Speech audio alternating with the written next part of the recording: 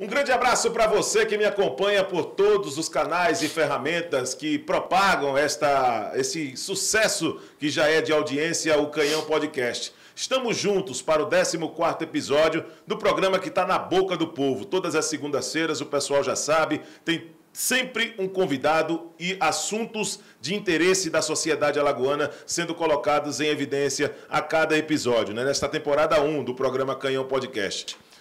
O meu 14 convidado no programa de hoje é natural de Champreta, nasceu em 17 de fevereiro de 1963. O currículo é extenso.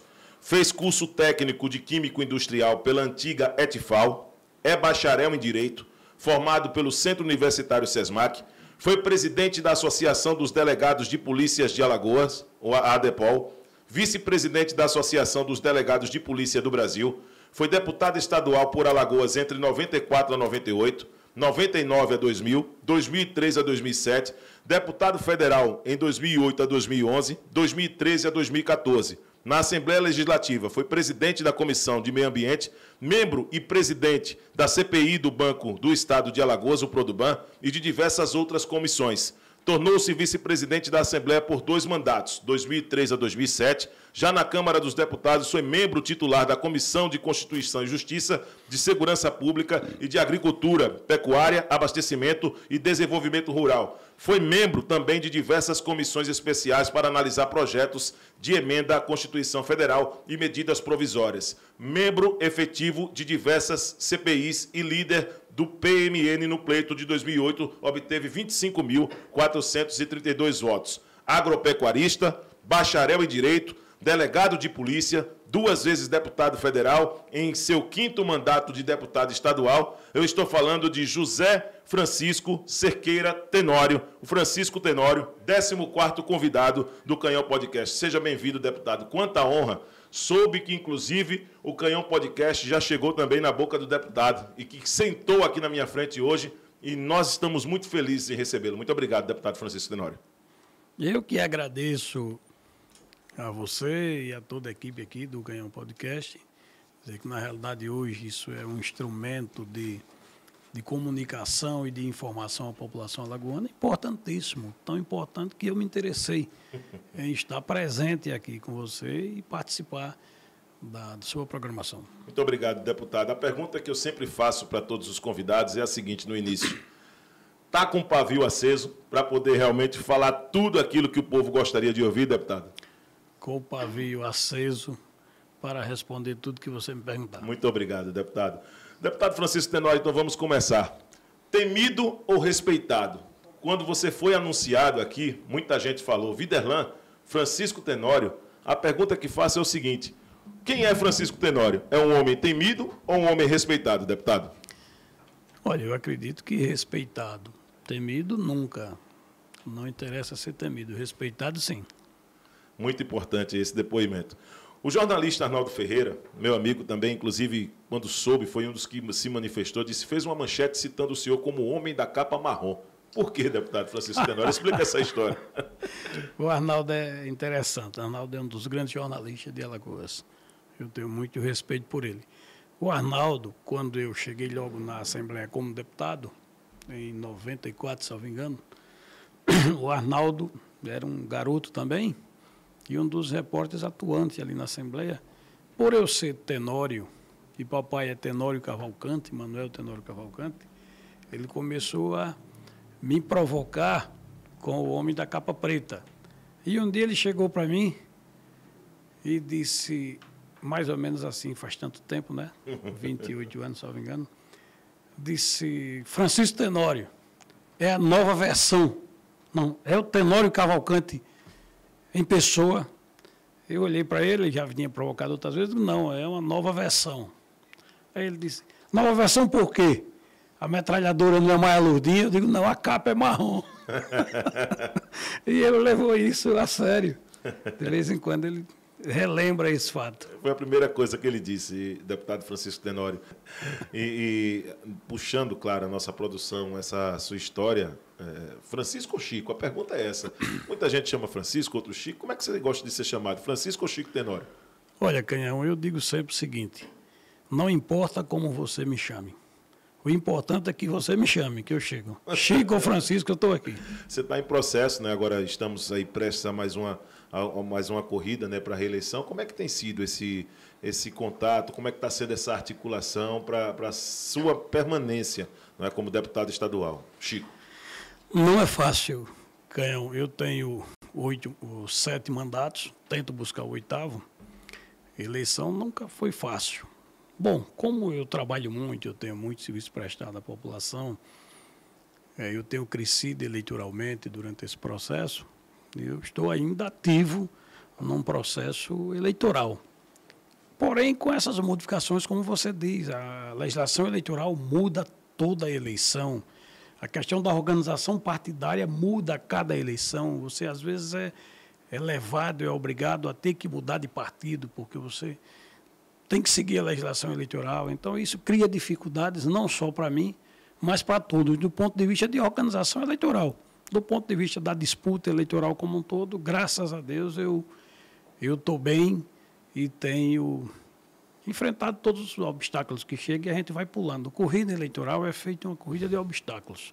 Vai surgindo um, você pula, vem outro, você pula, até chegar ao final com gás. Agora, o engraçado de tudo isso é que Antigamente existia uma identificação maior né, entre os candidatos e os partidos, né, mas essas mudanças constantes têm também até confundido a cabeça dos eleitores. Hoje, por exemplo, você, a convite do Arthur Lira, foi assim que surgiu um convite do Arthur Lira, é membro hoje do PP, é isso?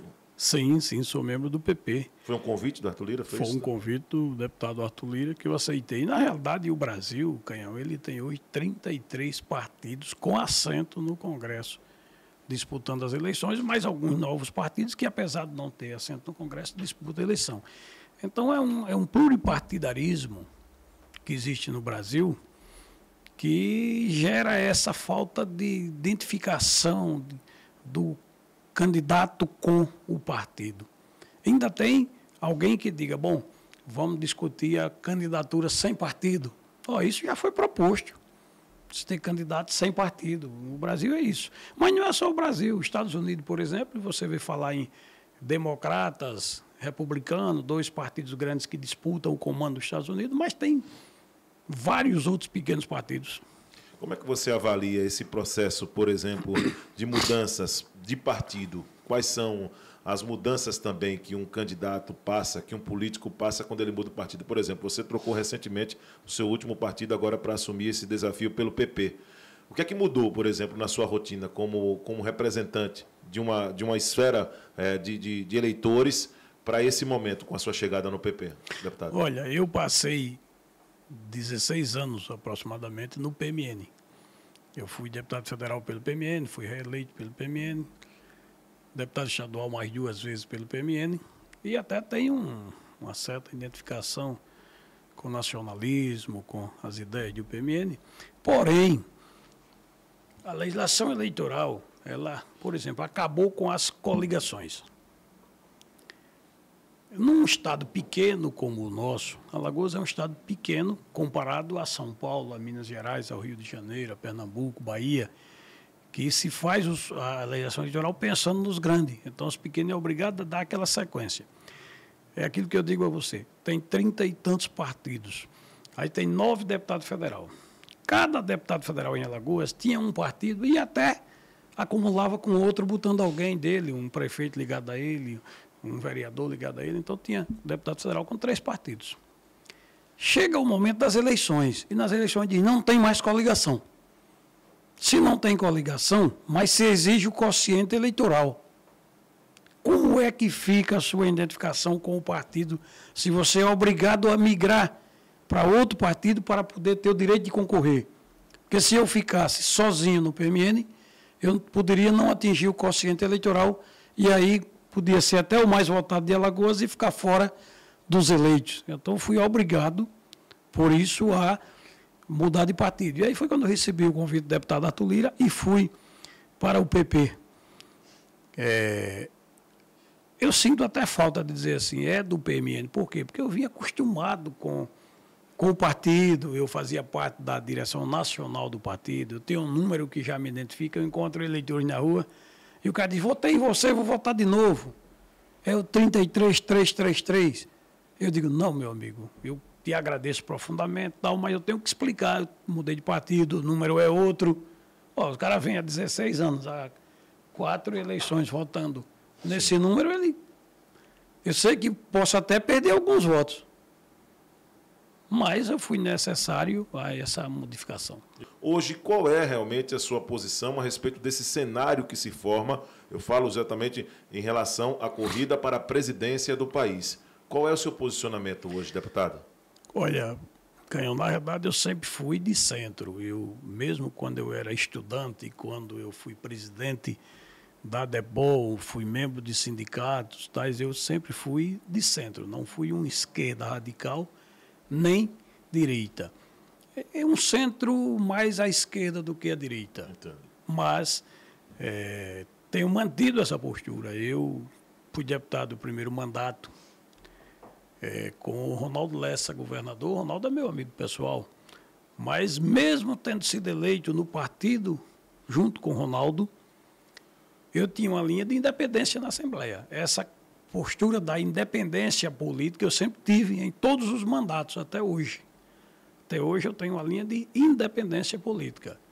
Eu até vou narrar um fato aqui. O Renan, nesse segundo mandato, chegou a me convidar para a liderança do partido, do governo, e eu expliquei, Lorena, é difícil para mim, porque eu tenho essa postura de independência. Eu não vou te defender em todas as ações tuas.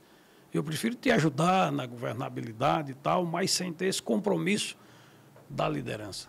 Agora, a respeito do seu posicionamento, você acredita hoje nesse cenário político para a presidência da República uh, que poderá acontecer o surgimento de uma terceira via, deputado, ou vai ser realmente esse processo polarizado já com Bolsonaro e Lula, na sua opinião? Eu acredito no surgimento de uma terceira via, que parece ser tardia, mas não é. Vou explicar por quê. É, nós temos hoje uma eleição presidencial nunca vista nesse todo o tempo de vida política que eu tenho. Esse radicalismo, essa disputa de torcidas, essa disputa acirrada entre o presidente Bolsonaro com, o, vamos dizer assim, a campanha do presidente Bolsonaro, o pessoal que acompanha, nem com a campanha do pessoal que acompanha o candidato Lula. É, direita e esquerda se tornaram confrontantes, radicais, a ponto de brigar um pelo outro, como já teve caso até de morte. Então, isso se criou um fato ruim para o país, porque cria um, um divisionismo muito grande e pode gerar violência. Me preocupa, inclusive, essas eleições, as campanhas aí trazer violência. Porque o tema está realmente aflorado Entendo. nesse processo. E aí, eu acredito que surge uma terceira via exatamente para fugir dessa polarização radical. Essa polarização radical não é bom para o país. E não é bom também para as pessoas eh, que militam na política. Então, acredito sim que ali entre Ciro Gomes e a, a senadora Tebet, eu acredito que ali deve surgir uma. Alguém deve crescer, não deve ficar nesse 7%, 8% de Ciro Gomes, não. Acho que avança um pouco. E o senhor já definiu seu posicionamento a respeito dessa situação do, do presidente da República? em quem o senhor hoje poderia dar esse seu voto, por exemplo, de, de confiança? Olha, eu estou nessa fase de análise em função de, de evitar essa polarização. Mas eu tenho muita simpatia pelo presidente Ciro Gomes. O Ciro foi deputado comigo e a gente discutia muito, principalmente sobre a questão de economia do país. E eu tenho uma admiração pelo candidato Ciro Gomes. Hoje nós estamos acompanhando também divisões, e naturalmente quando se fala do país, né, por essa corrida presidencial, mas também em regiões. Aqui em Alagoas, por exemplo, é, eu vejo nesse cenário político que a sua região está dividida né, entre o deputado federal Arthur Lira e o senador Renan Calheiros. Essa situação, para o senhor, o senhor pretende continuar acompanhando ainda para poder ter um posicionamento ou o fato já de ter se filiado a um partido a convite do deputado federal Arthur Lira já pode ser considerado o seu lado realmente nesse cenário? Olha, eu tenho muito respeito pelos dois, muita admiração. E acho que Alagoas vive um momento bom. Se você analisar, o ruim para o Estado seria, ah, o, vamos dizer assim, o partido único. Seria ruim. Essa coisa de ter um, um lado só comandando, de ter um grupo que dominasse o Estado. Isso é ruim. E Alagoas, graças a Deus, e o surgimento do Arthur Lira como uma liderança nacional, fez com que nós tenhamos hoje em Alagoas, é, no mínimo, é, duas grandes lideranças, que são o senador Renan Calheiro com seu grupo e o deputado Arthur Lira também com seu grupo. Então, isso surgiu. E se você analisar hoje, tem quatro candidaturas a governador que todas têm chance de chegar ao final vitoriosa. Então, Alagoas não tinha isso. Alagoas tinha uma polarização e, em alguns momentos, houve candidaturas quase única. Você lembra aqui de quando Suruagi foi candidato pela última vez, praticamente não tinha concorrente. E aí a reeleição do, do Rui Palmeira foi um passeio, né? Não teve praticamente concorrente. Salvo engano, a do Cícero Almeida também. Não houve concorrente. Hoje em Alagoas, sim, tem disputa política, tem disputa de grupos, e aí se debate mais as questões do país. O que eu fico preocupado é com esse debate pessoal. Esse, tem que fugir desse debate pessoal para o debate dos problemas do país, do Estado, que aí sim precisa de soluções. Isso é muito importante quando se fala realmente da discussão de propostas, né, deputado? Porque nos últimos momentos o que mais se discute também aqui, e aí é claro que pelo parâmetro que tenho dos últimos convidados. Exemplo, até que ponto vale, na sua opinião, a ética partidária? Até que ponto vale o, o cumprimento da palavra, por exemplo. Porque na semana passada eu recebi o Márcio Beltrão, que hoje faz parte do União Brasil, ele que também tem pretensões para uma vaga federal, né, como deputado, mas ele disse que vai votar em Paulo Dantas e vai votar no senador Renan Filho, ex-governador de Alagoas, mesmo estando no União Brasil, que é um partido hoje que tem, querendo ou não, como aliança Arthur Lira, que hoje é um rival realmente nesse cenário político do Renan Calheiros. Até que ponto vale essa ética partidária, na sua opinião, e também a fidelidade, a manutenção de uma palavra de um candidato num momento como esse? A gente volta para aquela pergunta que você fez anterior. A, questão da fidelidade partidária não, não existe na prática, porque você às vezes é obrigado a ir para determinado partido. Não é aquele partido que você se identifica ideologicamente mas aquele partido que você tem capacidade de ser eleito. Então, quando o candidato como o Márcio, ele é do União Brasil, o União Brasil tem um candidato a governador e a senador, e ele diz que vota nos candidatos de outro partido, isso demonstra exatamente de que não há uma afinidade partidária. Ele foi ali pela questão da legenda, do quociente eleitoral, da possibilidade e ter sido convidado por quem o comandava esse partido, que o aceitou com essa definição. Estamos recebendo aqui no 14º episódio do Canhão Podcast o deputado estadual Francisco Tenório, falando sobre todos os assuntos nesse momento político, de suas pretensões e também falando de sua história, né, de sua origem também como pessoa e naturalmente a sua passagem, sua história na política. Né? Estamos ao vivo pelo YouTube Canhão Podcast, o canal da TV Mar também no YouTube, a Rádio Litoral FM 95,5, também retransmitindo nesse exato momento a nossa programação. Abraçando nossos anunciantes, a Tabuada Incorporadora, sempre aqui conosco também, dando essa oportunidade em receber os nossos convidados com independência. Já disse, o Canhão Podcast, ele recebe de forma democrática e com muito prazer os grandes nomes da política lagoana. O Guia Nossa Lagoas, com o festival 60 Dias de Sabores até o dia 1 de setembro. Quer saber mais informações? Olha só, são mais de 25 casas participantes acessando a plataforma guianossalagosas.com.br. A Masterop trará em dezembro, atenção, hein, para o Enotel, tá? Lá em Porto de Galinhas, o embaixador Gustavo Lima. Show privado só para aqueles hóspedes. Coisa linda, hein? Vai, deputado. Para dar uma balançada na cabeça assim. Gosto muito. Gosto é. muito do Gustavo Lima. O embaixador Gustavo Lima, tá certo, né, no hotel. O deputado aqui já ficou balançado.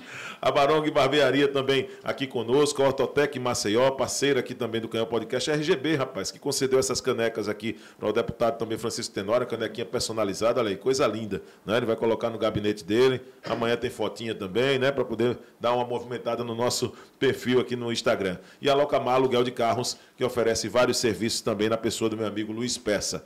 Vamos lá. E tem um Pix aqui, né, rapaz? É, rapaz, quem quer rir, olha só. Essa é a única forma que você tem, né? Apesar de muitos anunciantes que o Canhão Podcast tem, né? Você está vendo aí citando alguns anunciantes, mas para a continuidade do programa é importante sim a sua participação, tá certo? Coloca aí o teu, a tua câmera de celular, tá certo? faz a doação no valor que tu quiser aí para a continuidade do programa. Esse é o Pix aqui do programa para você fazer sua doação, tá certo? Tem que vender meu peixe, né, deputado? Tem que Sim, vender meu peixe também, certeza, né? Não custa nada, né? A vereadora Olivia Tenório, deputado Francisco Tenório, também a sua filha hoje apoia o governador Paulo Dantas. Isso já é público, é né, uma situação pública. O ex-governador Renan Filho também para o Senado. Mas o senhor, como já disse aqui, filiou-se ao PP, como anúncio feito pelo presidente da Câmara Federal, Arthur Lira. Como equilibrar essa relação em lados aparentemente opostos na política com a Olivia Tenório, sua filha? Olha, a Olivia é minha filha, mas a Olivia tem sua personalidade política. A Olivia é do MDB, é vereadora do MDB. E é, é interessante, eu não quero um filho meu na política para que eu fique dizendo o que é que ele tem que fazer. Deus me livre de fazer isso. Então, quando a Olivia quis entrar na política, ela me consultou. A Olivia estava já é divulgada, tem sua profissão definida, e a única coisa que eu pedi a ela foi isso, como eu peço aos outros filhos. Não entre na política para disputar eleições se vocês não tiverem uma profissão definida. Primeiro você se define profissionalmente. Depois você vai fazer a política para ser um gesto e uma atitude de como você pode melhorar as ações de governo para atender a população. Se amanhã ou depois não der certo e você perder uma eleição, você tem sua profissão. Então, é essa, essa orientação que eu dou e, graças a Deus, meus filhos têm seguido essa orientação. Agora, a Olivia, eu, eu tenho muito carinho por ela, assim, muito orgulho de dizer que sou pai da Olivia. E apesar de eu ter sete mandatos, eu cheguei no posto para baixo do seu carro, o cara disse, ó, oh, o pai da Olivia. Então, isso até me gratifica, porque eu noto que ela tem saindo muito bem como vereadora, com a sua personalidade própria. Hoje eu fiz uma reunião com o pessoal e levei meu ponto de vista e ela pediu permissão para discordar e discordou tranquilamente. O, o Eduardo, que está aqui comigo, estava na hora ficou olhando assim, é uma realidade. Então, eu debato, às vezes, fatos políticos com a Olivia, com todo respeito às ideias dela. Como é que é a vida do deputado Francisco Tenório? Uma coisa também que gera muita curiosidade, né? Como é que é o Francisco Tenório fora da atuação, fora do paletó, por exemplo? Eu vejo geralmente o deputado de paletó, de gravata, mas como é a pessoa, Francisco Tenório, nos momentos realmente de folga, que não está ali é, atuando como, como, como político mesmo? Como ser humano, assim, mais simples possível que você possa imaginar. Eu gosto de parar num barzinho, de tomar minha cerveja, eu gosto de ir para o campo de futebol. Qual é o seu clube do coração? Só para dúvida. CSA. É CSA? Sou CSA. Não sabia disso, não. Não sabia. Desculpa essa ignorância. Mas eu, tenho, eu não sou um, assim, um fanático do futebol. Eu sou CSA e sou Flamengo, veja. Ah, entendi. É? entendi. O meu filho é CRB, doente. Entendi. É Tem nenhum Vascaíno gente... não nessa família, não, para gente fazer? Ele é Vasco. Ah, então muito bem, muito bem. Parabéns.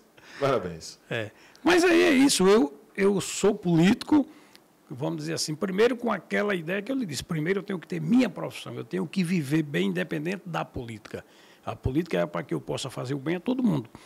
Então eu procuro ser o Chico Tenório, o Chico, o Francisco, o cara que, que frequenta qualquer ambiente, que vai para qualquer lugar, que vou para a roça, que vou para a minha agricultura, que vou para a minha pecuária, faz tudo.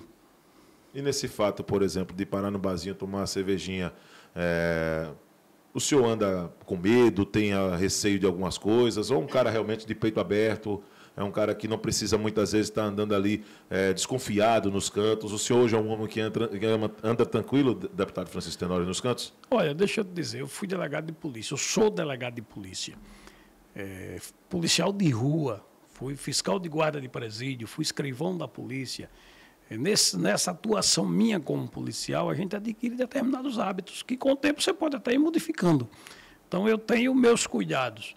Mas, graças a Deus, eu estou num momento maravilhoso da minha vida, onde eu estou com uma tranquilidade extraordinária, onde eu paro na bodeguinha sozinho. Às vezes pego meu carro, vou para a praia, saio eu e minha mulher e viajo só eu e ela para qualquer canto. Então, tranquilamente, e eu ainda brinco. Geralmente, quando se chega um deputado num barzinho, uma coisa, é, alguém que diz, deputado chegou, vai pagar a conta. Eu já chego brincando para evitar isso, que eu sou meu seguro. Então eu já chego quando alguém diz, aí vai tomar uma, eu digo, você paga. por aí. Eu vim liso. É por aí, é por aí. Quem, paga uma, uma cachaçinha para o deputado? Sempre aparece quem pague. Alguém eu, deixa que eu resolvo. E eu gosto disso. Quem quiser pagar uma cervejinha pode me convidar. Não? Deputado Francisco Tenório, vamos falar de avaliações. O que é que o senhor faz de avaliação, por exemplo, de Alagoas, na época em que Alfredo Mendonça, Alfredo Gaspar de Mendonça era secretário, e agora Flávio Saraiva como secretário de Segurança? O que é que você tem analisado como um delegado né, de polícia? Olha, existe uma diferença de personalidade, de forma de ser dos dois. Né? O Alfredo era aquele secretário que exibia suas ações policiais, que tornava público, que gostava de ir ao local para mostrar ah, o seu trabalho tal. Tinha a objetividade política de ser candidato, como hoje ele é candidato. Então ele já, ele já direcionava as suas ações policiais para mostrar ao público o que ele estava fazendo como secretário de Segurança Pública, com exibicionismo que eu sempre condeno, que eu sempre disse isso. O Flávio Saraiva é uma postura diferente. Você não sei se depois que o Flávio foi secretário, se você já viu ele exibindo ações policiais, se demonstrando. Tem gente que nem sabe ainda que ele é secretário, mas é um cara técnico, de linha, de convocar a tropa, de convocar os policiais civis, militares, reunir, discutir. É diferente. E o Estado está bem graças a Deus, na área de segurança pública, o Estado tem andado muito bem. Dessas atitudes, qual a que mais lhe agrada? A do Flávio Saraiva ou do Alfredo, nesse caso, deputado? Qual mais fica de acordo com suas convicções? É isso que eu quero dizer. Com certeza, hoje, o que mais me agrada é a postura do Flávio, a forma dele ser secretário de Segurança Pública. É uma forma de orientação às ações policiais. É diferente da forma do Alfredo, que ele ia fazer as ações policiais. Lógico, talvez no meu tempo de delegado, de mais jovem, também tivesse é, mais admiração pelo, pela exibição das ações. Mas eu digo sempre o seguinte: a ação policial não combina com exibicionismo, não combina com a demonstração pública das ações, porque você pode levar alguém ao risco. Imagina você fazendo uma operação policial, e eu já disse isso em outro momento, e levando alguém para filmar aquela operação policial. Se você leva alguém de fora para fazer essa operação, filmando ela, você está jogando esse alguém ao risco. E se você tira um policial da equipe para fazer a filmagem dessas operações, você está cometendo um outro erro, que você está tirando alguém que podia estar diretamente na ação e não na filmagem dessas ações. Então, as ações policiais devem se dar notícia do que foi feito, o resultado dela, e não a exibição dela. Você acredita que numa situação como essa, estamos acompanhando atentamente nesses bastidores aqui dessas eleições. E uma das denúncias que movimentaram, é, que movimentou as redes sociais hoje foi a do delegado Tiago Prado, que disse que o helicóptero da segurança pública estava sendo usado para cumprir a agenda de campanha e entrou no embate né, com o seu companheiro também de, de, de Assembleia, né, do deputado Ronaldo Medeiros. Qual sua opinião a respeito dessa situação? Se for, claro, comprovado né, uma situação como essa, do helicóptero da segurança pública sendo utilizado para fazer visitas com agenda de campanha, deputado? Eu não acredito nisso, não. Eu acredito na seta que o deputado pode ter ido no helicóptero para alguma ação de Estado. Você é deputado, você está na atividade como deputado. Se eu for convidado pelo secretário, pelo comandante-geral, ou, ou do nosso delegado-geral da Polícia Civil, para acompanhar uma ação policial, como deputado eu vou. Entendeu? Então pode ter acontecido isso, mas de dizer que saiu no helicóptero para fazer campanha, eu acho que é uma denúncia um pouco fantasiosa. Não quero desmerecer a denúncia, mas não estou acreditando que foi dessa forma. Pode ter havido aí uma certa confusão. O deputado pode até ter chegado em algum lugar no helicóptero do Estado da Segurança Pública, mas não para a campanha, e sim para alguma atividade parlamentar. Muito bem. Estamos conversando com o deputado Francisco Tenório nesse 14 episódio do Canhão Podcast. Audiência fantástica. Quero agradecer o pessoal da nossa produção aqui já informando, né? Audiência muito boa em vários canais que retransmitem nesse momento, né? Como o canal no YouTube da TV Mar, transmissão ao vivo, o Instagram também, né? Do Canhão Podcast está transmitindo também a participação do deputado Francisco Tenório nessa audiência bacana demais, que durante a semana será publicada também na íntegra durante o nosso canal no YouTube. Ainda falando sobre essa situação, deputado Francisco Tenório, o que há por trás dessas divergências políticas entre. Você chegou a dar uma pincelada nesse assunto, né, com alguns delegados, o senhor e alguns delegados. O que há por trás de tudo isso? Como foi que, de fato, colocou realmente uma situação como essa? O senhor, como delegado de polícia, por ter se posicionado também e acabou gerando um conflito com os delegados Leonan, o, o, o Fábio Costa e também o Tiago Prado nessa situação. Olha, na realidade eu agi como parlamentar. Eu, eu tornei público que não concordo com a exibição das ações policiais e repeti isso aqui para você. Eu tornei isso público, não tive nenhuma intenção de ferir A nem B. É, a, a, reação natural deles, eu entendo, é uma reação política. É uma reação de querer polarizar as ações políticas para ter dividendo eleitoral. Eu tentei fugir do processo da, da discussão desses fatos, porque eu não acredito que isso leva a nada. Tive que responder, às vezes, até com uma certa altivez, mas para evitar exatamente a polemização disso. Não, não interessa para mim essa polemização. Qual foi o mais forte que acabou provocando, por exemplo, uma certa insatisfação no senhor com esse negócio? Qual foi a palavra realmente que mais machucou o senhor, deputado? Olha, eu nem lembro. Isso foi um fato que passou já, eu respondi. E eu tô, eu tô num momento, como eu lhe disse, tão bom que eu não guardo coisa ruim, só procuro guardar as coisas boas. Está ficando uma pessoa experiente acaba realmente vendo dessa forma, né? Fica sábio demais. Estamos chegando no primeiro quadro aqui do programa com o deputado Francisco Tenório, o quadro Top Secret. Conhece esse quadro, deputado? Já ouviu falar nesse quadro, não? Não, vamos, vamos para a novidade. André, você não disse nada para o deputado. O deputado está autorizado aqui também para responder o que ele quiser e frear também o que ele quiser, tá certo? Nas nossas perguntas. O que é o quadro Top Secret, é, é, deputado Francisco Tenório? Aqui, a nossa produção fez uma pesquisa sobre todas as matérias que são relacionadas ao nome do personagem. Nesse caso, hoje, você como, como personagem aqui no Canhão Podcast. Então, tem matérias com cunho positivo e matérias de cunho negativo. E nós vamos trazer algumas fontes e o senhor responde também, até em tom de esclarecimento, definitivamente para a população, algumas matérias. Por exemplo, aqui a primeira matéria traz, saiu no Instagram do Política Alagoana a matéria aqui, né? no dia 6 de agosto, o deputado estadual Francisco Tenório chamou o presidente da cooperativa Pindorama, Kelly Santos, de traidor em vídeo que circula nas redes sociais. Inclusive foi na Rádio Princesa, não foi? Essa entrevista, não foi isso? Lá Viçosa? Por que esse posicionamento, deputado Francisco Tenório? O Clécio, de fato, foi assim mesmo, sendo chamado de traidor pelo senhor? É, realmente eu disse isso. O Clécio, ele, no processo de eleições municipais, me procurou, me convidando para a gente fazer um, um, um, entendimento político lá em Viçosa. Eu considero Viçosa minha terra, porque eu nasci na Champreta, mas me criei na Viçosa. E Champreta pertencia a Viçosa, então eu sou de Viçosa e sou de Champreta. Me criei ali e tal, então eu tenho um carinho especial, um amor por Viçosa. E aí eu faço sempre a minha política na Viçosa. Então o Clécio tentou uma composição política comigo. E na composição política ficou acertado de que eu apoiaria o filho dele para prefeito e ele me apoiaria para deputado. Isso foi uma reunião na minha casa, ele foi na minha casa, não uma, uma vez apenas, algumas vezes até a gente encontrar esse entendimento. Bom, e na realidade ele já guardava a intenção de lançar o outro filho deputado. Então, isso não se faz na política. Na política, a gente tem que é, dar a palavra quando pode cumprir. Ninguém é obrigado a fazer um acordo comigo, mas se fizer, cumpra. Se não cumprir, eu vou exigir o cumprimento. Então, eu tive a melhor das intenções possíveis.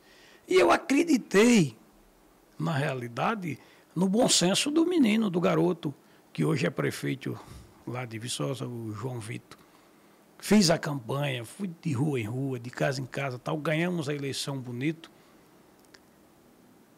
E até, na realidade, o pessoal da Viçosa tinha assim, um certo receio pelo Clécio, pela forma de agir, pela família do Clécio. Eu disse naquele momento, cuidado com a família Paizinha. Alguém me dizia isso, que eles são considerados paizinhos. É um, um apelido dado ao, ao pai dele.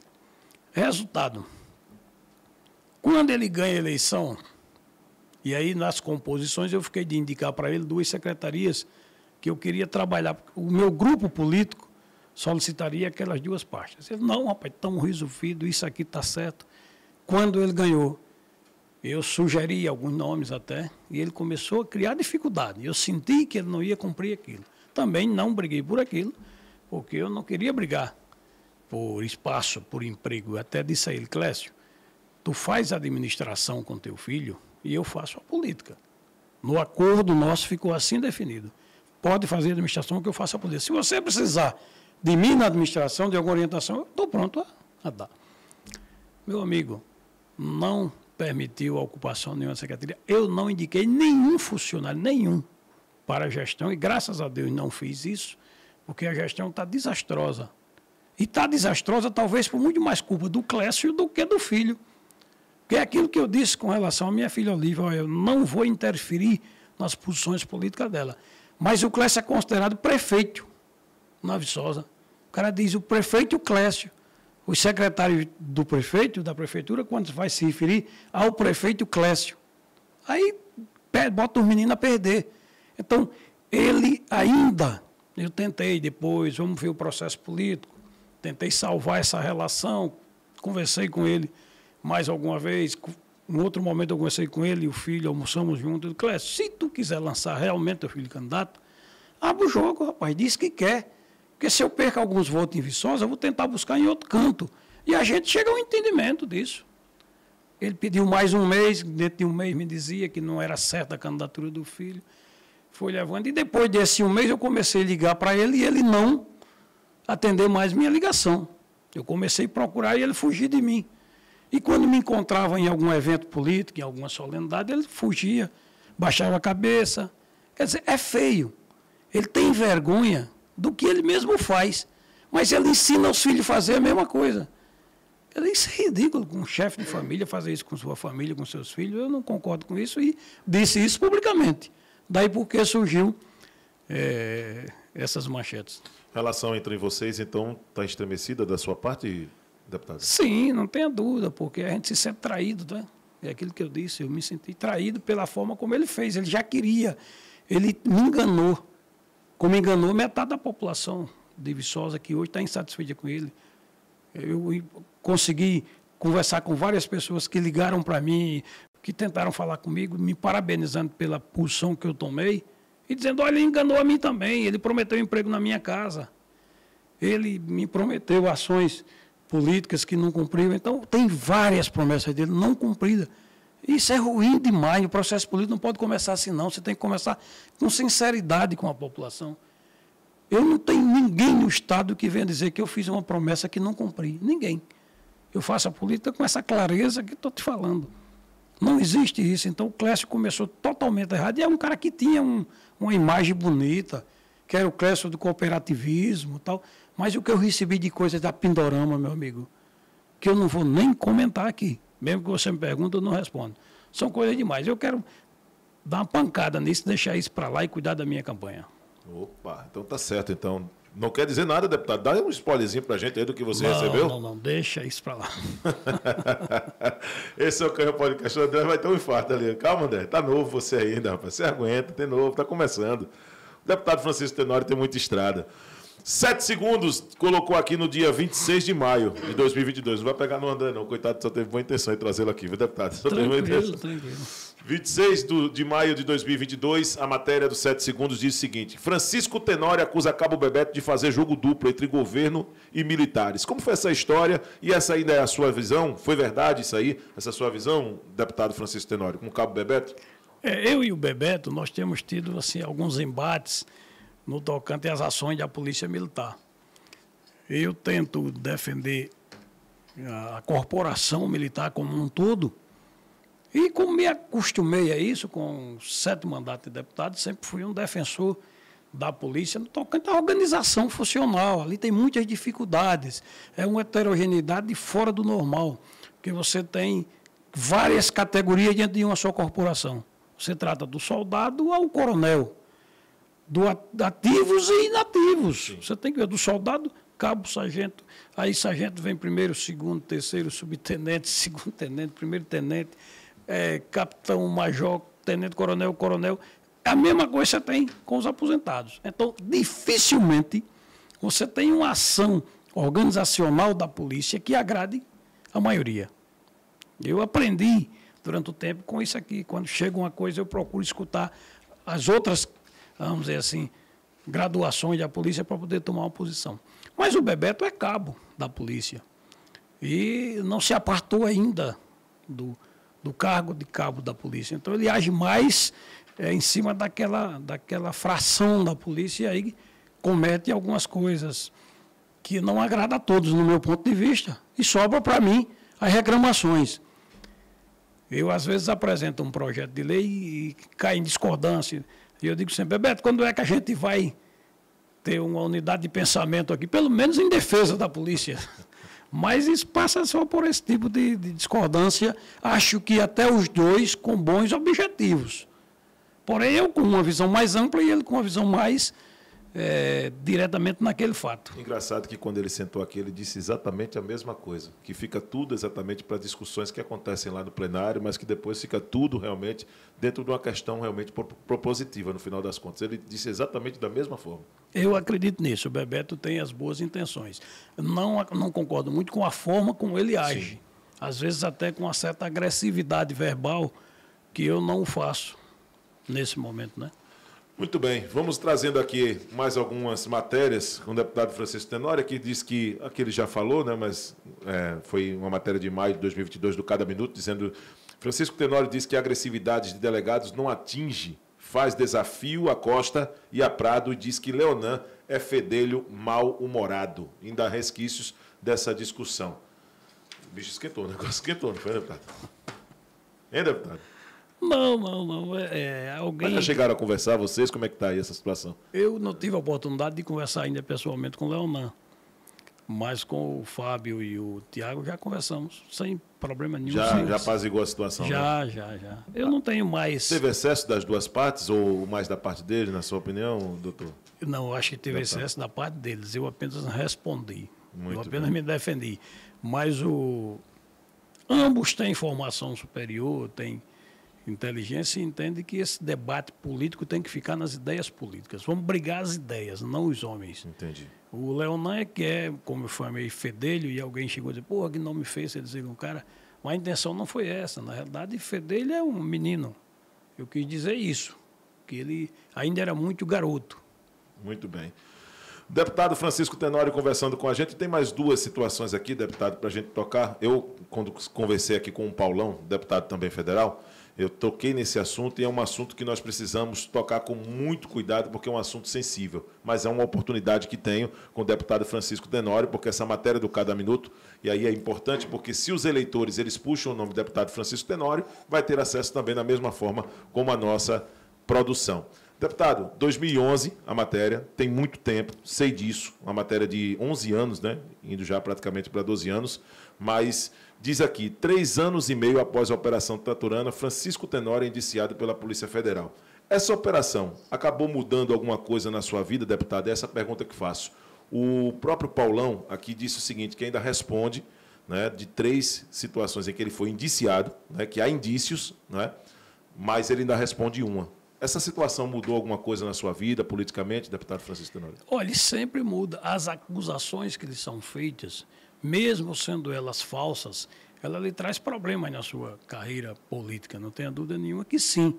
É, e quando nós vamos nos aproximando do pleito eleitoral, aí começa, talvez, os adversários, e às vezes até fogo amigo, às vezes até alguém que está dentro das suas próprias corporações partidárias, começa a divulgar matérias negativas do passado. É? Então, existe muito isso. Essa matéria aí, hoje não me atinge, porque é, eu já fui reconhecido inocente né, em parte dessa matéria, porque ela, por exemplo, havia denúncias, entrando em denúncias aqui, de que os deputados tiravam empréstimo no banco na época para pagar com verba de gabinete. Eu, quando eu fui ser deputado federal, eu saí da Assembleia, então eu deixei todas as minhas prestações de contas resolvidas, com baixas, é, no sistema eletrônico da Secretaria da Fazenda, o CIAFEM da época, tudo resolvido. E quando houve a operação policial, foi apreendidas as minhas prestações de contas. Como eu era deputado federal, elas ficaram, em tese, guardadas na Polícia Federal, que não devolveram o que deviam ter devolvido, não devolveram, ficou lá. E eu não liguei, porque eu tenho consciência de que tudo meu estava correto. Bom, a Receita Federal, que faz a análise depois, me pediu a minha prestação de conta. E eu informei assim: não posso apresentar, porque foram apreendidas por ocasião da operação policial e se encontram na Polícia Federal, a quem sugiro que seja solicitado. E assim eles fizeram e solicitaram à Polícia Federal, que enviou duas caixas de documentos à época, prestação de conta no sistema físico, foi analisado e foi aprovado pela Receita. Olha, se toda a minha prestação de conta foi aprovada pela Receita Federal, não tem mais de que eu temer de ações. Depois, a Justiça Federal, do ponto de vista penal, entendeu que eu não tenho nenhum problema com isso, que não houve nenhuma intenção minha em realizar nenhum fato que pudesse ser considerado delito. Restou analisar a improbidade. E apenas isso que voltou para o Tribunal de Alagoas. Então eu estou tranquilo com relação a isso aí e sei que é fogo amigo que tenta, no processo eleitoral, denigrir em função da disputa. Você acha que tudo isso aí muitas vezes acaba ressurgindo por conta da disputa, é isso, deputado? Isso fica claro, você que é jornalista sabe que o cara chega a 60 dias de uma eleição para esquentar uma matéria de 2011, que na época já dizia três anos atrás então veja como o processo é puramente eleitoral, mas eu estou acostumado a conviver com isso. São eu quantos venho... anos na política, deputado? Olha, eu tenho 30 anos de Já política. Já viu muita coisa na política? 30 então. anos de eleições. Já passei por tudo que você imaginar. O que é que você se arrepende desses 30 anos? O que você não faria hoje, deputado, com essa sua experiência? Olha, tem coisas que a gente. Na época era bom que hoje não é. Por exemplo, quando eu entrei na política, eu era delegado de polícia. Sim. Eu era presidente da DEPOL. E eu tinha fama de um delegado austero, de um delegado é, que agia com, com rigor nas ações policiais. E essa fama me levou, talvez, a, a ter alguns votos. Isso hoje eu não faria mais dessa forma, mas naquele momento foi importante para a minha primeira eleição. Muito bem, aí a participação do deputado Francisco Tenório, encerrando aqui o quadro Top Secret, com algumas matérias né, e situações até inclusive que nós poderíamos trazer, né, dentro da, da lógica também, algumas reivindicações do deputado Francisco Tenório, principalmente aqui, né, para a gente fechar, é, de fato mesmo de direito, né, as taxas cobradas pelo Detran, foi uma das reivindicações lá em 2017, o senhor ainda criticava as questões de taxas cobradas pelo Detran naquela oportunidade. Hoje, essa situação está mais justa no seu ponto de vista? Taxas cobradas pelo Detran? Deputado, você lembra dessa história? Olha, interessante. A pandemia, ela diminuiu isso porque foi proibido a apreensão de veículos. O que é que eu criticava naquele momento? É, o Estado apreender o carro de alguém porque está com o IPVA vencido. Isso eh, gerava um problema para o Estado, em que às vezes o dono do carro, o proprietário, não pagava o IPVA porque não estava conseguindo pagar e o carro era apreendido e o carro ia para um depósito terceirizado no Detran, ficava lá apodrecendo e geralmente aquele cidadão perdia aquele carro. E quando ele conseguiu o recurso que ia tentar resgatar o carro, o carro estava lá deteriorado. Então veja, o Estado gastava em ações policiais para prender um bem civil de um cidadão, não cuidava bem, quando se ia leilão, já era em fase bem demorada e o carro já não valia quase mais nada aqui, o dinheiro apurado no leilão não pagava sequer a taxa de permanência na empresa privada que tomava conta. Então, não tinha nada de positivo. E o Estado estava sendo, é, vamos dizer assim, saqueador da sua propriedade. Olha, não cabe ao Estado, não cabe ao Estado tomar o seu bem para garantir o pagamento de imposto. Não pode, já é decisão do Supremo Tribunal Federal. E é isso que eu sempre critiquei. É, a Olivia chegou a, a passar aí por um momento interessante de ver uma pessoa dela ter um carro sendo apreendido e ficar no meio da rua, ficar de pé e o seu carro ser levado porque esqueceu de pagar o IPVA. E naquele momento ela também me chamou a atenção disso e ela entrou com uma ação popular na época. Eu entrei com um projeto de lei, foi aprovado, é lei. Hoje o Estado não pode apreender o seu carro porque você está com o IPVA atrasado. Por que não pode? Porque o Estado não pode confiscar o bem. Ele pode sim entrar com uma ação judicial e a ação, a justiça decidir. Ou ele pode negativar o seu nome, porque você está deixando de pagar um tributo negativa o seu nome, o carro responde pelo débito e você só pode vender o carro no momento em que você pagar aquele débito. Mas nunca tomar o seu carro. É como se você estivesse devendo do IPTU. e a prefeitura fosse lá e botasse você para fora da casa e tomasse. E pegasse a casa e fizesse outra coisa. Pode fazer isso? Não. Mas ela diz, ó, está negativado aqui o IPTU, aciona na justiça e você só vende a casa quando você pagar o IPTU. A mesma coisa é o carro, é um bem. É esse, esse, essa maneira assim, de, de ver do ponto de vista da legalidade das ações que eu sempre critiquei no Detran. Muito bem. Esse é o encerramento do quadro Top Secret aqui pelo Canhão Podcast. Gostou, deputado? Gostou da participação? Gostei, rapaz, gostei. É uma do, oportunidade, né? De... Gostei do bate-papo, da. Mas não terminou ainda não, ainda tem o da forma como você faz as perguntas. Obrigado. Estou sempre à disposição. Eu, fico, eu fico, me sinto lisonjeado. Minha mãe sempre me deu essa educação, inclusive ela está assistindo, minha mãe e meu pai nesse momento. Quero mandar um beijo para minha mãe e para meu pai. Né? Parece o programa da Xuxa aqui, né? Mandar um beijo para minha mãe e para meu pai, que está assistindo agora, mas sempre deu a educação suficiente para respeitar as pessoas. E a ideia do programa é essa: não levantar a bandeira, não tomar partido, apenas fazer aquilo que o jornalismo pede, que é perguntar. O convidado fica à vontade para poder responder. Esse polêmico quadro, esse, top secret. Mas vem o principal, esse que bomba né, em número de audiência. Todas as vezes que se anuncia aqui o de frente com o canhão, tá? Esse é o último quadro do programa, é o que realmente aumenta a audiência, né, André? Você sabe disso, né? É o que aumenta a audiência. O deputado conhece esse quadro também? Conheço. Esse daí está conhecido, né? Aparece a foto, tá certo, do personagem, e aí o senhor vai virar ou livrar esse canhão para aquele personagem e vai explicar o porquê. Tá certo? Tá certo. Tá valendo? Tá valendo. Então vamos virar para cá para o senhor olhar. Deixa eu te dizer uma coisa antes de começar esse quadro. É, eu peguei na sua caneca para beber na caneca. Isso. E lembrei de um personagem nacional interessante, Jô Soares. Você Obrigado. lembra que ele fazia as entrevistas dele com a canequinha do lado? Isso. Isso. Eu achei parecida, achei bonita e me lembrou o Jô Soares, que merece nossa homenagem. Merece nossa homenagem e, e, assim, o senhor é o primeiro convidado a desvendar aqui um dos nossos é, métodos de entrevista. Ele, de fato, é um, ele foi uma inspiração também né, para a minha postura profissional hoje. E, e, não só ele, como o Márcio Canuto. Conversei com, essa, é, com, com amigos sobre essas duas situações. O Márcio, inclusive, mandou até um áudio aqui para mim essa semana, né, agradecendo por conta de um projeto, de um documentário que nós estamos fazendo, e agora o senhor cirurgicamente foi lá para dizer o nome do Jô Soares, porque realmente eu diria que tem incrementos do que o Jô Soares fazia aqui no Canhão Podcast. A forma de conduzir, eu não vou ser assim tão né, audacioso em dizer isso, mas a caneca, a forma realmente de, de comunicar, de fazer a coisa. Muito obrigado tá, por essa comparação. Fico muito feliz com isso, tá, deputado?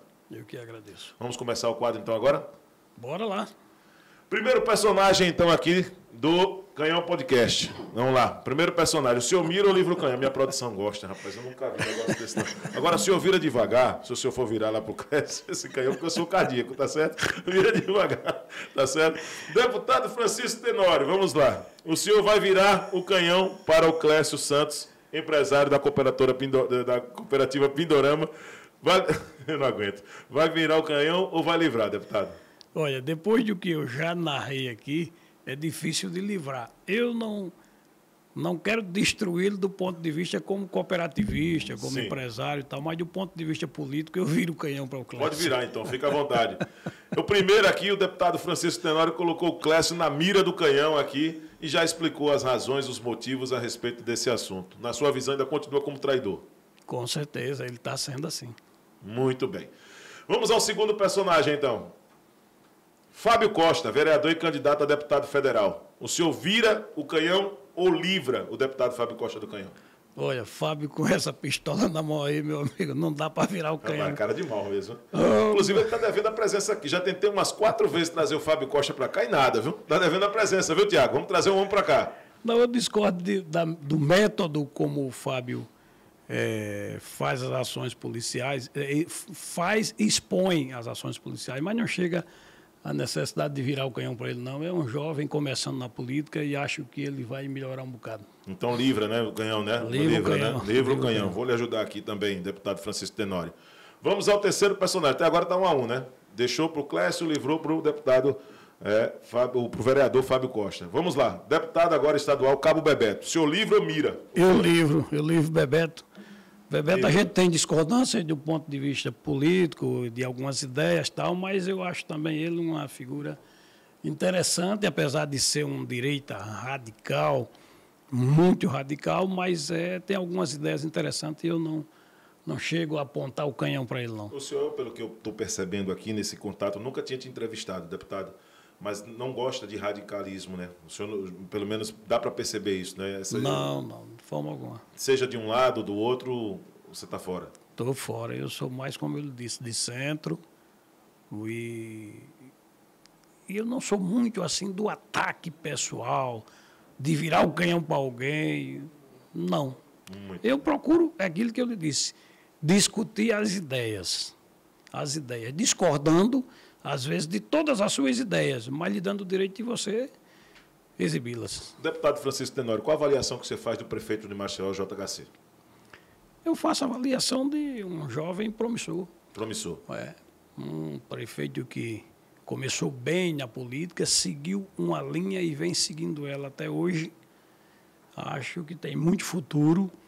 E é um bom prefeito nas suas ações. Ele consegue, tem coisas interessantes no JHC, é que ele consegue fazer muito com pouco. Então, às vezes, um pontozinho ali, ele vai lá e, em torno daquilo, ele termina fazendo um, um grande movimento. vou dar um exemplo, aquela cadeira que ele botou ali. O senhor já foi lá tirar foto naquela cadeira? Não tive a oportunidade de tirar foto ainda, porque toda vez que eu passo tem fila. Rapaz, é Mas eu quero tirar foto lá na cadeira. Então, uma coisa mais simples do mundo. Mas ele conseguiu divulgar Maceió em todo canto com aquela cadeira. Então é interessante e é muito interessante. Muito bem, então tá certo. Está explicado aí, também fazendo a avaliação, né? Contribuindo aí também com a questão do prefeito de Maceió, JHC, o ponto de vista do cidadão, né? Deputado Francisco Tenório. Vamos ao quarto personagem, vamos lá. Rodrigo Cunha, senador e pré-candidato a governador de Alagoas. Mira ou livra? Não, eu livro. Eu livro Rodrigo. Rodrigo foi deputado comigo. Livrar, né? Um bom deputado, trabalhando na sua forma de ser. Senador também tem sido um bom senador. É, o fato é que Alagoas, quando elegeu Rodrigo como senador, é, naquele momento de uma disputa política que tinha senador Benedito de Lira, Renan Calheiros e outros candidatos, então aquela turma que elegeu Rodrigo pensava no Rodrigo combativo. E não é o estilo dele. Rodrigo é passivo. É? Então, o Rodrigo tem a linha política dele, mas é passivo. Então, chega em Brasília, e eu cheguei em Brasília como deputado federal, e no primeiro ano, segundo ano, a gente fica muito assim, querendo entender como funciona, tudo é grande. Então, o Rodrigo passou a mesma experiência, esse primeiro mandato dele como senador, de entender o que é Brasília, de entender o que é o Senado, de saber o tamanho da grandiosidade do Senado, não vira o canhão para o Rodrigo. Livra, então, né? Livro. Muito bem. Deputado Francisco Tenório livrando, então, Rodrigo Cunha, pré-candidato. Pré-candidato não, agora já é candidato, né? Já teve as convenções, né? O candidato a governo de Alagoas. Vamos a mais um personagem, vamos lá. Fernando Collor, senador e governador também, né? Aliás, candidato ao governo né, de Alagoas. Olha, eu disse no começo aqui que Alagoas tinha quatro candidatos a governador. Na os... verdade, são sete, viu? Deputado, é, são é, sete, eu sabia disso. Eu disse com chance de chegar ah, ao segundo chance, turno. Tudo bem. E o Fernando Collor é um deles. Eu livro ele do canhão. Collor foi prefeito de Maceió, foi governador do estado, foi senador, foi presidente da República. Teve momentos de mal compreensão, mas também momentos que a gente precisa reconhecer. Collor fez uma abertura econômica para o Brasil naquela época, que ainda hoje é real e necessária. E com isso ele conseguiu forçar com que o Brasil acompanhasse, vamos dizer assim, a produção internacional, principalmente na questão dos veículos, que na época os nossos veículos eram bem para trás do, do veículo usado internacionalmente. Então o Collor fez com que esse Brasil pensasse no mundo e começasse a fazer política de governo federal, não apenas pensando no, no, na parte interna do Brasil, mas também pensando no Brasil como um país competitivo para o mundo, e o Brasil hoje é um país competitivo. Muito bem. Então livrou aqui o senador Fernando Collor e candidato ao governo de Alagoas, da mira do canhão, o deputado estadual Francisco Tenório. Vamos a mais um personagem. Deputado, vamos ver? Mais um personagem. Paulo Dantas, governador de Alagoas. O senhor mira ou livra o canhão para ele? Eu livro também o canhão para o Paulo Dantas. Paulo Dantas também foi deputado comigo até agora. Eu votei nele para governador tampão. E está governando no momento mais difícil Olha só, governar no início, num governo eleito pelo povo, é uma coisa, mas governar num governo eleito pela Assembleia, num período de eleições direta, ele precisa ser governador e candidato. Então não tem como virar o canhão para esse cara que vem trabalhando corretamente. Muito bem. Então livrou o canhão também para o Rodrigo, para o senador Fernando Collor, para o senador Rodrigo Cunha, né, pra, que são candidatos ao governo, e também para o Paulo Dantas. Né? Tudo certo? Livre? Livre. Vamos a mais um personagem então. Vamos lá. Rui Palmeira, que é o quarto, então. É, é, na sua opinião, são os quatro fortes mesmo, né, não é, deputado? São, são os quatro que podem ter alguma chance de chegar a ser governador. Rui Palmeira foi prefeito de Maceió durante oito anos. No segundo período, não teve nem concorrente para uma disputa é, à altura. Não tem como apontar o canhão para um cara que também foi um bom prefeito de Maceió. Deixei esses quatro logo, né, nossa produção já escolhendo dessa forma, para fazer essa pergunta. O senhor livrou o canhão dos quatro, mas quem terá a confiança de Francisco Tenório nas próximas eleições? Dos quatro. Olha, eu vou dizer uma coisa. Se eu tivesse quatro votos, votaria nos quatro mas você, como jornalista, vem no dia a dia analisando isso. O que é que você acha? Quem tem a melhor confiança para governar Alagoas? Eu não posso, eu não posso na minha posição aqui. Tá jogando para mim, tá deixando no ar, né? Tem muita coisa no ar, é isso, deputado? Tem muita coisa no ar. Tem muita coisa no ar, não tem? É. Tem muita coisa no ar, imagina. E não é avião de carreira, né? E não é avião de carreira, tem muita também, coisa. Também, também, né? Muito bem. Quer dizer, então, que o seu voto, mesmo estando no partido como o PP e o Arthur Lira por lá, o senhor não dá para afirmar para mim que é o Rodrigo Cunha que você vai votar? Não, eu estou ouvindo ainda os candidatos a governador. Na verdade, eu não tive nenhuma conversa com o Rodrigo Cunha sobre as eleições, sobre o que se pensa para Alagoas no próximo ano. Muito bem. As campanhas vão começar ainda no dia 16, viu? É, depois do dia 16 é que o bicho pega, né? Muita coisa vai ser definida, né? Ainda é. tem coisa sendo definida ainda, acredita, as convenções já aconteceram, né? mas ainda tem coisa sendo definida realmente nos bastidores da política. Vamos a mais um personagem. Vamos lá, o deputado Francisco Tenório. Manuel Cavalcante, ex-coronel da Polícia Militar. O senhor mira ou livra o canhão para ele, deputado Francisco Tenório? Olha, em outros momentos eu virava o canhão com toda a pólvora. Hoje não, Manuel Cavalcante está aposentado nas suas ações, pensando em viver o resto da sua vida, que Deus o ilumine e proteja. Por que o senhor viraria em outros momentos? É em relação àquela questão do Cabo Gonçalves, é isso? Em, em, várias coisas. O Cavalcante foi um denunciador na época de. Eu até entendo o desespero que ele passou, mas ele mentiu muito, criou muito problema. Foi muita coisa errada que ele fez e que depois ele começou a querer é, atribuir a alguém para diminuir a pena dele, coisa desse tipo que eu discordei na época. Tivemos embates sérios, eu sofri muito com esse tipo de coisa, mas esqueci, resolvi deixar para lá. E hoje ele tem que viver o resto da vida dele. Livrou então aqui o ex-coronel da Polícia Militar, Manuel Cavalcante, o deputado Francisco Tenório. E o último personagem, pessoal, vamos lá? Leonan Pinheiro, vereador e candidato a deputado estadual. É como ele disse, fedelho mal-humorado. Alguém ignorou isso? Eu quis dizer que ele era um menino mal-humorado. E eu acho que ele entendeu, ficou calado, porque o Leonan é muito esperto do ponto de vista de redes sociais, tal, da mídia social. Mas ele entendeu. E não vou virar o canhão para ele, não. Menino, menino novo, candidato a deputado e tem futuro. Deputado Francisco Tenório, estamos finalizando aqui esse episódio 14 do Canhão Podcast. Eu quero agradecer. Como é que é? Soprar alguma coisa aqui. Eu, eu, gostaria de agradecer sua participação. Muito obrigado por todas as palavras que você colocou, que fez menção aqui ao nosso programa. O intuito do Canhão Podcast é esse mesmo: é trazer as pessoas que são influentes da nossa sociedade. Você tem 30 anos de história política e, naturalmente, não, não será todo dia que nós vamos ter uma oportunidade dessa de sentar para conversar, até porque existe também, e posso te dizer isso, muitas coisas que o cidadão gostaria de perguntar e que nós aqui tivemos essa oportunidade de perguntar. Muito obrigado pela disponibilidade. Sei que você veio para cá hoje no sacrifício, não estava 100% da saúde, mas disse vou para poder manter realmente a ideia do programa e conte sempre com o seu amigo aqui, tá certo? Muito obrigado. Pode ter certeza que você sai daqui hoje com muito mais respeito em relação ao apresentador e o apresentador por você, tá certo? Eu te agradeço, Canhão, aqui essa oportunidade concedida, principalmente no período desse pré-eleitoral. É importante que a gente esteja mostrando nossas ideias e prestando conta das nossas ações. E eu acho que você tem uns quadros muito interessantes. Me coloco à sua disposição. Sei que você tem muitas personalidades políticas para entrevistar. mas não só nesse programa, num bate-papo até informal, sempre às suas ordens. E agradecer profundamente a você e toda a equipe que faz este programa, o Canhão Podcast, e me colocar inteiramente à disposição. Quais são as suas principais pautas agora nessa reeleição como deputado? Só para poder também fazer uma pergunta e fechar aqui o programa. Olha, a segurança pública sempre foi uma pauta minha, eu me preocupo com qualquer que seja a movimentação assim de aumento de violência, tal, sempre me preocupei com isso.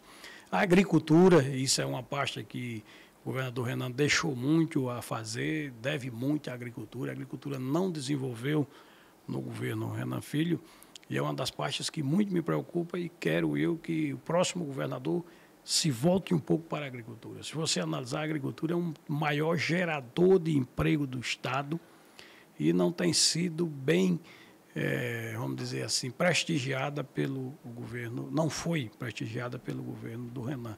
Embora tenha prestigiado outras áreas bem, mas a agricultura não. E eu faço esse apelo aos candidatos ao governo que olhem para a agricultura, que a agricultura é responsável pela alimentação nossa no dia a dia. O agronegócio precisa ser bem visto nesse processo. O 14 convidado do Canhão Podcast, deputado Francisco Tenório, nos deu esse prazer de conversar por uma hora aqui sobre todos os assuntos em mais um episódio do Canhão Podcast, que estará disponível também através do Spotify, na nossa plataforma Canhão Podcast. Você pode ir no endereço no Spotify acompanhar. For, for viajando para Champreta, pode colocar no Spotify lá também, viu? Tem o Canhão Podcast para você escutar novamente a sua entrevista, tá certo, deputado? Muito obrigado, irmão. TV Mar Canal 525 na Net Claro, Portal Gazeta Web, às terças-feiras, às às nove da noite, no Spotify, como já coloquei, no YouTube, Canhão Podcast, no canal oficial da TV Mar, na Rádio Litoral FM 95,5. Muito obrigado pela participação de todos, pela interação da galera também através dos nossos canais de relacionamento, através do Instagram. E na segunda-feira estaremos de volta com aquele que é o polêmico, que está na boca do povo, o pavio aceso, Canhão Podcast.